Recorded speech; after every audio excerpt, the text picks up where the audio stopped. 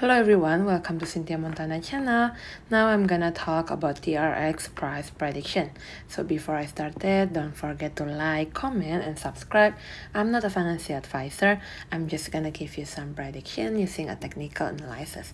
We're gonna start with the TRX per BUSD. As you can see in here, this one is having a little bit correction for for our previous right? And we're gonna see about the Bollinger Band here whether we have to enter the market or taking our profit right? So first of all we have to see first right in here already hitting the purple one side on the 0 0.08438 US dollar and the current price at 0 0.08463 US dollar right here so as you know also is about the pink side here. For the pink side is at 0 0.09 US dollar for the middle band. And then the yellow one here is upper band on the 0 0.0966 US dollar right? So let's take a look also on the RSI stochastic. For the RSI stochastic is already in the oversold zone. Oversold zone because it's all of them below 50 right so uh, let's take a look on the moving average. For the moving average there is uh, the pink one side here. The pink one side is a moving average 25 on the 0 0.090 us dollar. The yellow one here is a moving average 7 on the 0 0.0874 us dollar right here.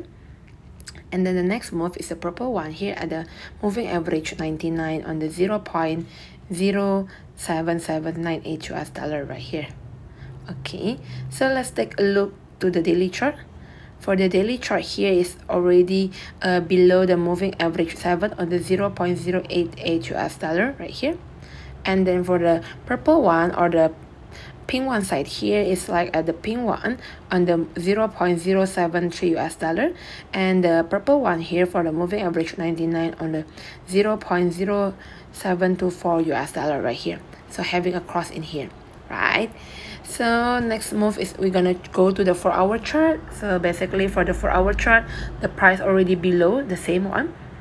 Below moving average 7 the yellow one here on the 0 0.0874 US dollar and the pink one side here the moving average 25 on the 0 0.09044 US dollar right here. And then trying to go to the purple one this one but I think it's hard to go that point right here. And then we go to the Bollinger Band. For the Bollinger Band is hitting on the purple side the purple side here is a lower band at the 0.0843 US dollar right here. And if go up go to the pink one side here the middle band the 0.0905 US dollar. And if gonna be hit then you can uh, taking profit on the yellow one here at 0.0966 US dollar. You can take notes on here then enter the position on the purple and taking profit on the yellow one right?